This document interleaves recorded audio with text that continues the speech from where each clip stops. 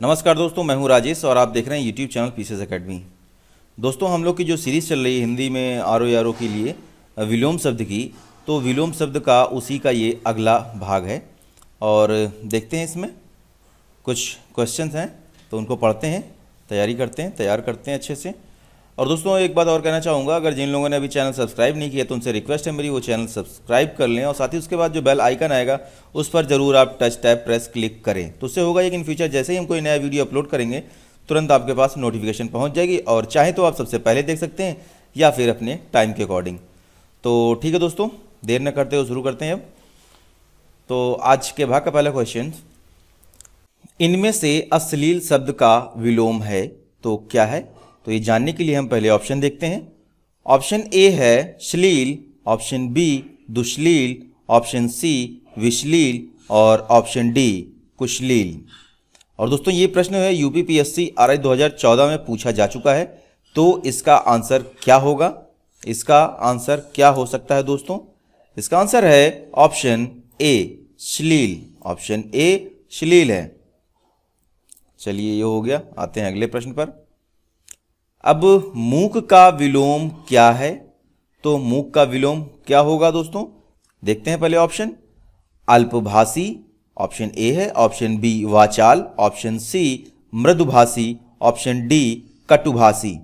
अब ये देखिए, ये कई एग्ज़ाम्स में पूछा जा चुका है तो ऐसे प्रश्नों को ज़रूर आप ध्यान दीजिए। ये यूपी पीसीएस प्री 2014 में पूछा जा चुका है। यूपी पीसीएस मेंस उन्नीस सौ निन्यानवे 2005 में पूछा जा चुका है। यूपी लोअर मेंस में 2003 में पूछा जा चुका है। तो ये प्रश्न जो है, बहुत बहुत इंपॉर्टेंट है। हो सकता है फिर अभी पूछ दिया जाएगा। ये मेरे नज़र में इंपॉर्टेंट बहुत है। तो 21 नंबर, यानी मूक का विलोम क्या है? तो इसका आंसर है ऑप्शन बी, मूक का विलोम वाचाल। मूक का विलोम वाचाल होता है, ठीक है? अब देखते हैं, भाई व्याख्या ही पढ़ लेते हैं। मूक का विलोम वाचाल होता है, जबकि अल्पभाषी का विलोम बहुभाषी होता है। मृदुभाषी का विलोम कटुभाषी होता है। यहाँ से और भी आपको क्लियर हो गया। चलते हैं अब अगले प्रश्न पर। नूतन का विलोम है। नूतन का विलोम क्या है? ऑप्शन देखते हैं। ऑप्शन ए है प्राचीन, ऑप्शन बी पुरातन, ऑप्शन सी अर्वाचीन, ऑप्शन डी वर्तमान।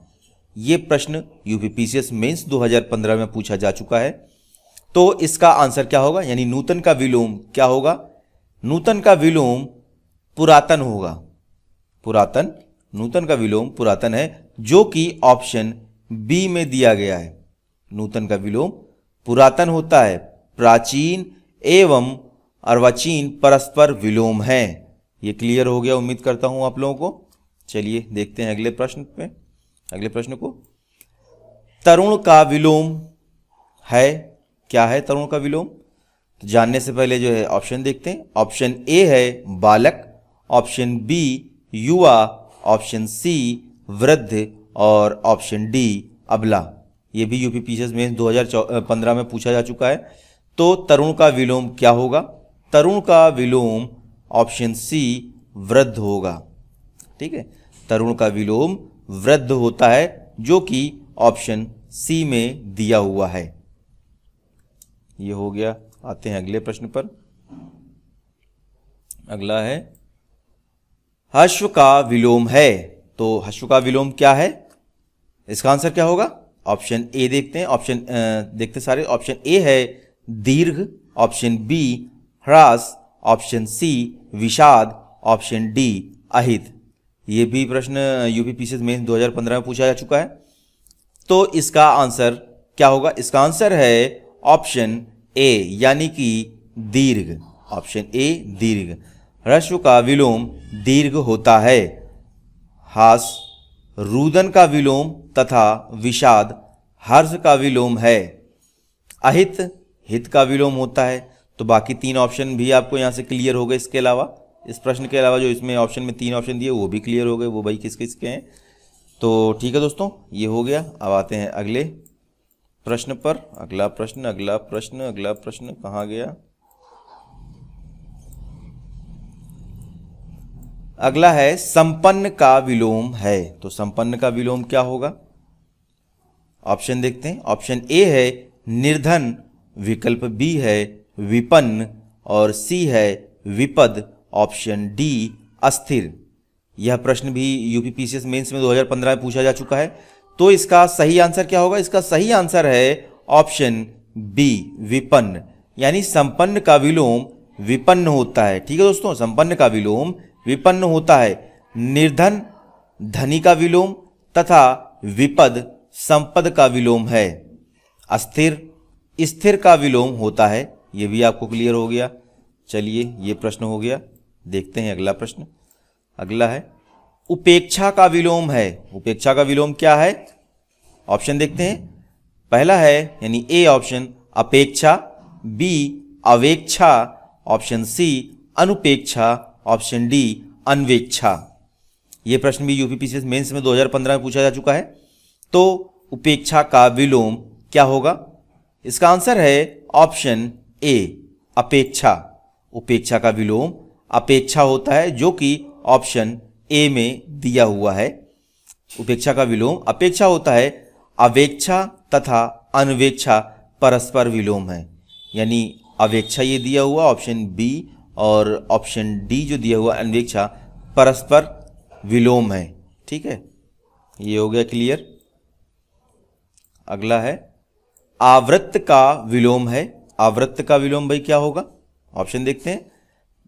ए है अनादृत बी आवरण, सी अनावृत और ऑप्शन डी अनासक्त।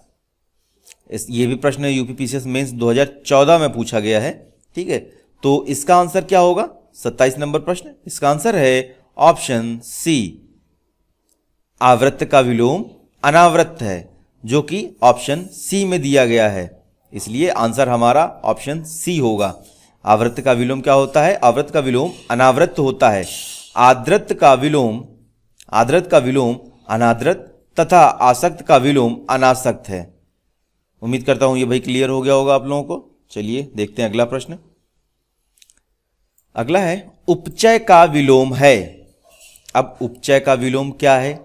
ऑप्शन देखते हैं। ऑप्शन है ए, अपचय, ऑप्शन बी, अवनत, ऑप्शन सी, रोपण। ऑप्शन डी, अनुर्वर। ठीक है दोस्तों? ऑप्शन डी, अनुर्वर हो गया। ये प्रश्न भी यूपीपीसीएस मेंस में 2014 में पूछा जा चुका है। तो इसका सही आंसर क्या होगा? इसका सही आंसर है, यानी उपचय का विलोम ऑप्शन ए, अपचय होता है। उपचय का विलोम अपचय होता है, जो कि ऑप्शन ए, यानी विकल्प ए में दिया गया है। इसलिए आंसर हमारा विकल्प ए होगा। तो उपचय का विलोम अपचय होता है, अवनत, उन्नत का तथा रोपण आरोपण का विलोम है, अनुर्वर, उर्वर का विलोम है। ये भी आपको यहाँ से क्लियर हो गए। अगला देखते हैं। जागृत का विलोम है। जागृत का विलोम ऑप्शन है ए, निद्रा, ऑप्शन बी, सुस्त, ऑप्शन सी, सुप्त, ऑप्शन डी, सुसुप्ति। ठीक है? यह प्रश्न भी यूपीपीसीएस में 2014 में आ चुका है। तो इसका आंसर क्या होगा? इसका आंसर है ऑप्शन सी ऑप्शन सी जागृत का विलोम सुप्त होता है, जो कि ऑप्शन सी में दिया हुआ है। इसलिए ऑप्शन सी हमारा सही होगा। इस प्रश्न का आंसर ऑप्शन विकल्प सी है। जागृत का विलोम सुप्त होता है, जागरण का निद्रा तथा जागृति का विलोम सुषुप्ति होता है। यह भी क्लियर हो गया आपको? देखिए, सब क्लियर होता जा रहा है। तो दोस्तों, आज के लिए इतना ही। उम्मीद करता हूँ आप सभी लोगों को भाई ये वीडियो पसंद आ रहे होंगे। तो अगर पसंद आ रहे हो तो बिल्कुल आप लाइक करिए और जितना हो सके आप शेयर करिए और दूसरों तक पहुँचाइए, दूसरों की मदद कीजिए। और, बस इतना ही।